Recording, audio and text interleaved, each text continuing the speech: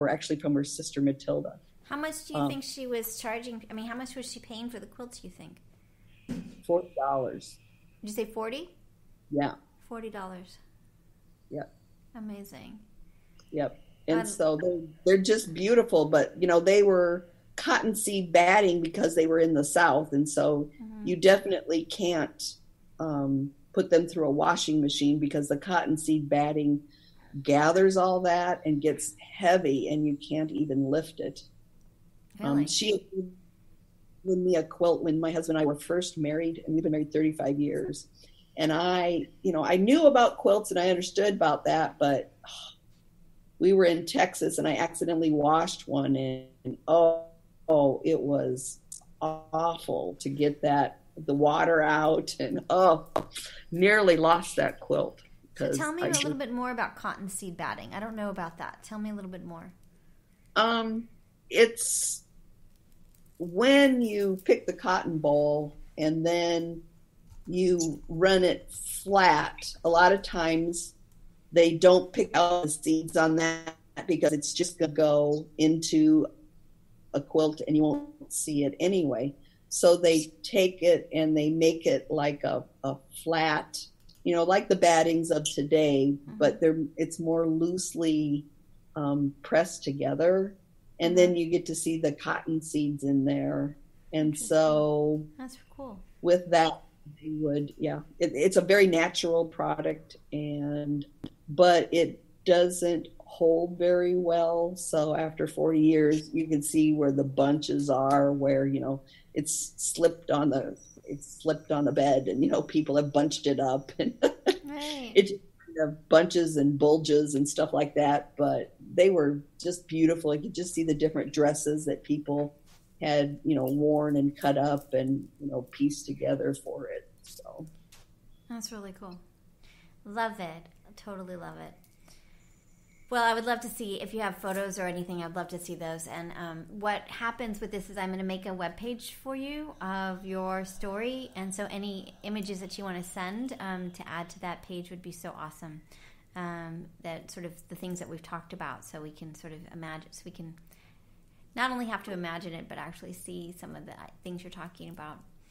Sure. Um, I'll, get, I'll, get, my daughter because they're still up in Nebraska, and. Oh, I'll have her take the pictures and I'll, she can send them to me and then I'll send them to you. Cool. All right. So another question I have is sort of when you're choosing a pattern for these projects, how do you decide what pattern you're using? Where do you get the patterns from? Do you use like you were talking about um, uh, a pinwheel and a bear claw? So these are really standard um, types of blocks. But where do you get the patterns from from the stuff you guys are making? We have a big stack of years and years of old quilting magazines. And the ones I I just, you know, ripped them up and I found the ones that I wanted to do and I said, here's the quilts, here's the quilts I dream about quilting and when I get time I'll do them so I put them in three ring binders. Well, I just kept buying those magazines and having a lot of dreams. Uh-huh. I have like eight binders full of all these patterns now. That's so great. So, so I leaf through there and, you know, I kind of have, you know, put them together as this is a diamond shape or, or this is a four square or uh-huh. this is a spider. And um, and or a lot of times we'll do something at Boys Town. We did a disappearing four patch that was simple and we could do together as a group because to find a pattern that 20 people can do together is sometimes kind of hard. Mm-hmm. So um, we have somebody like in charge of one pattern and then she has the stuff cut up and then we just sit down and she gives us the instructions and we sew it up. So we can get a top done in a day now. Do you so. all sew together when that happens? Like, are you taking things? So home? sometimes people just have these really cool patterns You there? Am I what? Oh, I said uh, we lost you for just a second. I was saying when you when you're doing, I have a couple questions on that. First, are you guys all sewing together? Are you bringing your yes. sewing machines and sewing together? Yes. Awesome. And then, um, what about varying levels? So, are there certain people that are beginners and more advanced people, or all about the same level? Nope. There is there is a great stretch of us that are intermediate quilters, and but we always have beginners too. But we've learned that the very simplest of patterns are the easiest to sew, because sometimes from machine to machine, even that quarter inch can vary oh. on how a machine goes. Uh-huh. So we picked the very simplest, uh, that straight lines that, you know, if somebody dropped in that was a beginning quilter, they could sure pick it up and do it. Or there's also some people that, you know, may, they might be tired of sewing, so they said, oh, I will iron. And you know, that is welcome news to us because it's like, thank you. because, uh, you know, ironing can get kind of boring, but it's so necessary. Mm-hmm. In, in order to you know set your stitch and keep your block on track for how big the size is. And you know pressing is a necessity in quilting. And so we just welcome those people with open, open arms and just give them all kinds of praise and thanks for great. Do you um so when when the machines vary are you concerned about things matching or how worried are you about you were talking about your mom being super precise when you're group quilting as a community how do you how does that how do you deal with that like imperfection yeah like the first time we kind of noticed it because we all sat down on our machines and we did the quarter inch that our machine did. And then with the next step, when we had to put blocks together, we kind of went, wow, this doesn't fit or this doesn't match. What's going on? Didn't you sew a quarter inch? And yes, I did. So a lot of blaming. Then, then what we did was um, we go with a ruler and we mark each one of our machines with that quarter inch from that ruler. Interesting so that we all are doing the same quarter inch. So we'll just take tape and you know mark it down so yeah. that we all have the same quarter inch because if everybody is off, that can get up to be, you know, two to three inches of mayhem. Yeah, and it would be depressing because you'd work so hard yeah. and then it'd be like struggling. Yes, that's really interesting. Well, I'm amazed that the machines are so different. Yeah. Interesting. Yep. Hmm. Yeah, we were too. It was it was truly wow. You'd think a quarter inch is a quarter inch, but you know, where does that fall? You know, in that little circle of where your machine needle goes up and down, and you know, yeah. some you machines you can move the needle across, and so you know yeah. that makes it a little bit different. And oh, yeah. Do you think it matters what kind of machine you have for quilting? Do you think a fancy machine matters, or any machine? Does it make a difference since you've seen so many machines cut through the through the years? Um, I would say the machine that you love with all your heart, that it's a joy to sit down and sew with. Yeah, that's the machine. That's the, that's a good one. That's funny. I, I agree. It's kind of a little bit of it's a romance in some way, right? Yes, most definitely. Yeah. I had a lady that loved her Kenmore and just sewed on it for years and years and years, and she wore it out because she was a prolific quilter, and uh, that just broke her heart. And so she had to find a new. She found a new Kenmore, and she said, "But it just isn't the same."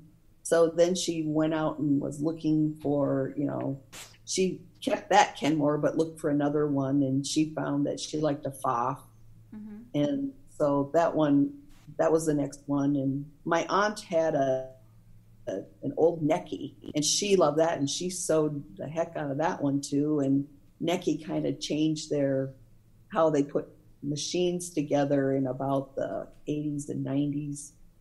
And so she didn't like the new machines that came out, but they changed how they put their machine together again. And so she likes it. Necchi is back in the stores and she has one again and she likes it. I found out I really do like a Bernina just because it's very durable. It's it'll take heavy weight things and just you know just keep moving along. Yeah. Yeah, my, that's what my mom. My mom was a Bernina. She loved Bernina. Yeah, yeah. Um, and what kind of sewing machines do you see most in your group? Do you see a trend? Um, when we first started out, it was Bernina, but they were heavy. And as the women got older, mm-hmm. they didn't want to transport and lift heavy machinery, you know, heavy yeah. or sewing machines. Yeah. So then they went to preferred Janome. Mm-hmm. And but now Pfaff has kind of caught that market trend, and they have a really nice portable sewing machine too. That's really sturdy and trustworthy. Interesting. So kind of how the, the quilting companies and the machine companies listen to their um, clientele is what machine will you know work or not work. How important now that we're into like kind of that side of it, how important are tools or stencils or other? All there's so much of that on the market now. Um, how much is that? How much of that stuff do you guys use? The basting sprays, the I mean, you name it, there's something there. Um, how important are, it, are is that to the the special rulers, all of that to what you do? Um, we don't go for the special stuff. I mean, we love the oh, what is it? There's one ruler that's like 24 inches by six inches, mm-hmm. and that's nice for cutting those longer, um, you know, two inch strips. Yeah, I have one of those. They're great. Yep. And if you have to do a lot of square things, you know, a nice six inch or nine inch square block would be good. Yeah. Um, we just kind of keep it really simple. Um, the most that people do is kind of go off on applique. Yeah. In what way? Yeah. Our 100 year quilt is mostly applique, and that took oh, a lot of work and a lot of time, but boy, it looks great. It's yeah. beautiful. Is it needle turned? Is that what you guys did? Yes. And how did you do the applique? Did you use like AccuQuilt or some other? Did you? How did you cut out the the shapes? the ladies drafted them themselves. Really? They we took pictures from the historical, you know, the historical uh, pictures of Boys Town from the Hall of History, and we had a woman from Papillion kind of give us what it should look like in a queen size and you know the proportions. Mm-hmm and then we went from there and kind of picked and chose what we saw from the pictures. They drafted their own patterns. Amazing. Yes, it is amazing and beautiful. Because we did the barn that, you know, the Boys Town barn. We did Dowd Chapel, which is the um, main chapel on campus. Um, we did the Boys Town like signs on the poles and um, the obelisk that's at the uh, front of Boys Town now, and just kind of it was on a path, and so we saw you know how kids and Boys Town changed through the hundred years. You know, we had the traditional look of the little newsies at the bottom, and somebody did those in wool.